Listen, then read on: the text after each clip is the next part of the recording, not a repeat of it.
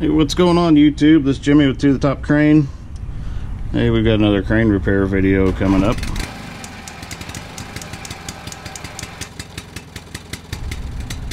Uh, this time it's on our air system. This has an air compressor uh, mated to the side of the engine over there. Uses compressed air. I believe on this crane, the only thing it uses it for is the emission system. Uses it to pressurize the DEF system and inject the DEF into the exhaust on the upper. So what we've got, we've got fitting down here, a fitting up here. These were in the middle of this. This com uh, compression or European style compression fitting down here on the bottom. Um, goes to a DIN fitting, which anybody that works on hydraulics in the United States knows that that is sometimes hard to come come across stateside and then they have these little fittings on the top side they're just reusable um, fittings you can screw on the end of the hose and then it tightens itself down. Anyway I'll take this all the way off and show you. So that uh, this collar my viewfinder back up so I can make sure I'm showing you the right stuff. This collar screws onto the end of this hose and then you screw that all together on the end of this. That's how you make your hose connection. It was actually sitting in there like so what the problem is is uh, everybody knows when you compress air it gets hot. And it gets really hot. Um, they used Tadano used a rubber lined braided air hose up here to make this transition from this top fitting down to this fitting here. Um, the rubber lined hose, when it gets exposed to that much heat for a period of time, it gets brittle and then it cracks and starts leaking. Well, when it leaks on this crane, you lose your air pressure and then the DEF system doesn't work properly. And when the DEF system doesn't work properly, the crane goes into limp mode. Um, last year we actually had to fly a guy in from Houston to hook his computer up to this thing and call Germany, called Mercedes in Germany and get a code to get it out of limp mode because our previous air hose that we had put on, or actually we hadn't put it on, it was the one that was from Tadano, had started leaking. And so we replaced it with this one and now it has started leaking. So what I'm gonna do, and I'm hoping Tadano watches some of my videos, um, I'm gonna adapt from this to a pipe thread, to a standard US pipe thread, or maybe to a JIC, some kind of flare. And I'm gonna put a Teflon lined heat resistant air hose in there. Um, that's what they use on all the big trucks coming off compressors. The the Teflon lining is made to withstand the heat where this rubber lining it just doesn't I mean this thing this thing is hard. It's hard and it's cracked and it's leaking and it's going to cause us problems so we got to get it changed.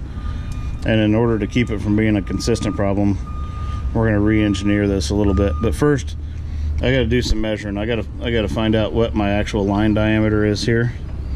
And then I will cut this since this isn't removable after it's tightened down I'll cut this fitting off and uh, install a new compression fitting on there to go from that metric steel line to a standard pipe thread or a JIC know, some some sort of flare but before I can do that I got to see exactly what we're playing with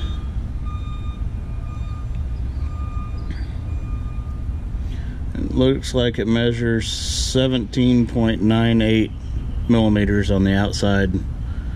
So I'm gonna call that 18 millimeter steel line. Now I just got to find a, fitting, a compression fitting that will go from that 18 millimeter steel line to, uh, I could put about anything I wanted in there. I could half inch pipe or three quarter inch pipe, whatever. So anyway, once I get to that point, we will get uh, some more video going.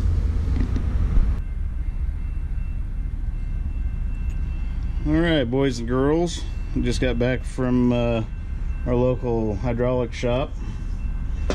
Went shopping, got some pieces. So this is our plan.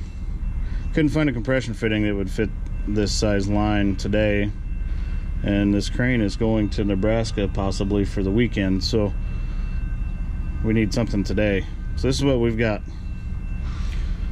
this is a sweat on JIC fitting we're going to cut this compression fitting off.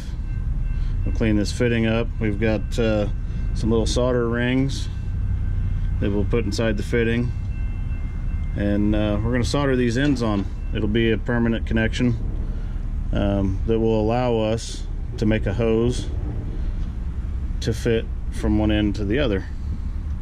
To use the Teflon lined hose and standard fittings that way in case if we're ever out in the field and we have an issue with this line in the future or this hose then uh, it will be easily replaced instead of ordering stuff from Germany. Okay, it's probably worth a mention that uh, what I'm going to use on this, it isn't just your regular electrical solder. This is silver solder or silver brazing alloy.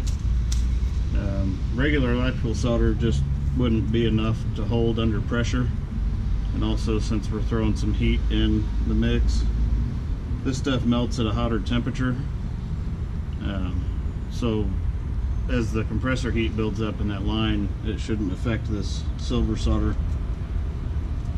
You can tell it's a little different mix. It's got, I don't know if you can see that, it's got kind of a bronzy alloy looking color to it.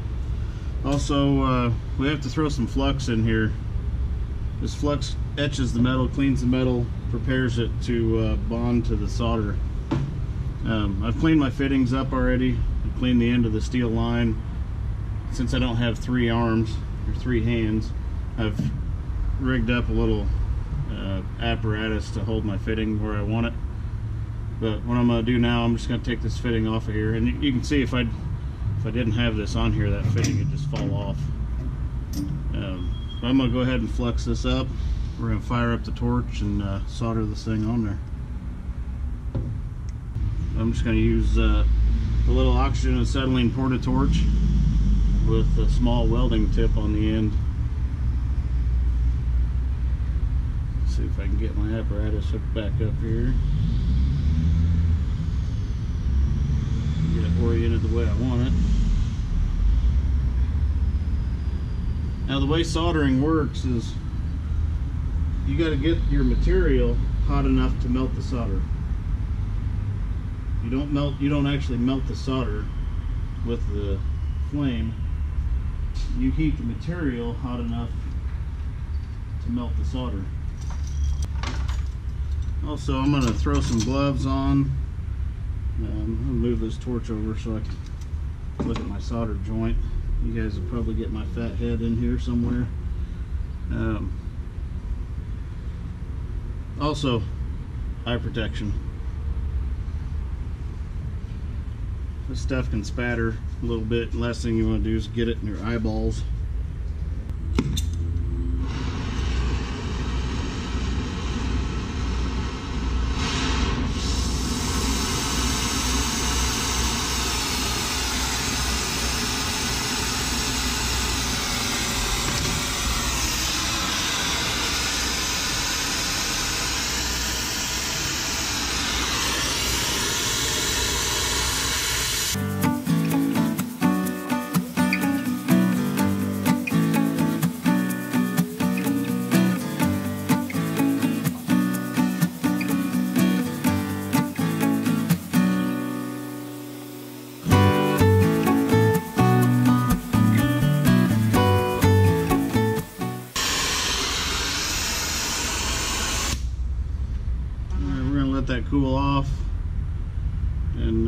See what we got.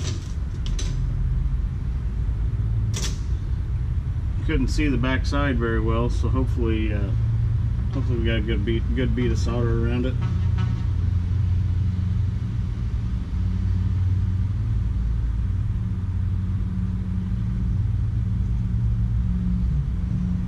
And sometimes you can look down the end of it if you see solder all the way around, you're in good shape.